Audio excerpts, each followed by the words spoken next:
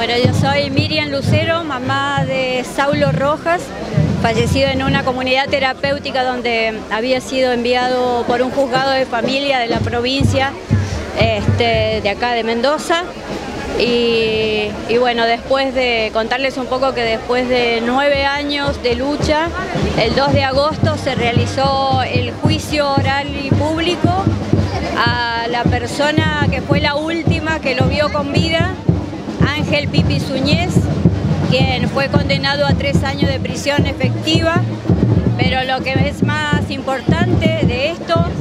es que se sentó un precedente, es algo histórico porque es la primera vez que un caso de este tipo llega a, juicio. Y creo que es muy importante hacerlo saber este, porque más allá del juicio, el juez y la fiscal de la causa eh, pidieron que se tengan en cuenta los testimonios de las otras personas que declararon ese día del juicio,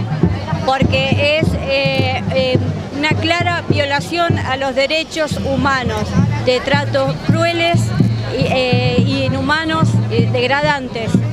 Entonces esto se va a elevar a tribunales federales de, Buenos Aires, así que no solamente se consigue, eh, digamos, la condena de Suñez, sino también se abre otra puerta más grande que es la investigación a quienes son los principales responsables, no solo de la muerte de mi hijo, sino también de Felipe Mariñaski, que falleció 11 días antes que mi hijo, y de todas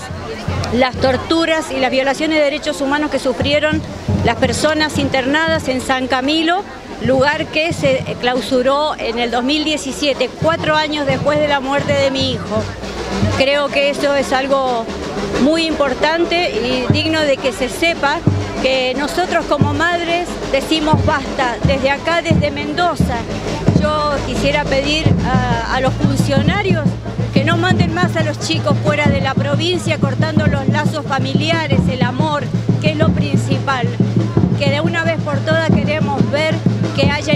político para que dentro de nuestra provincia podamos conseguir los dispositivos suficientes para que nuestros hijos estén cerca nuestro, para apoyarlos, para acompañarlos y, y creo que es una medida urgentísima. Depende del interés político, porque a la vista está que mi hijo falleció en el 2013, fue enviado en el 2012 y yo empecé a buscar ayuda en el 2009 y las madres de hoy tienen las mismas respuestas que yo tenía en aquel entonces. Entonces quiere decir que nada cambia.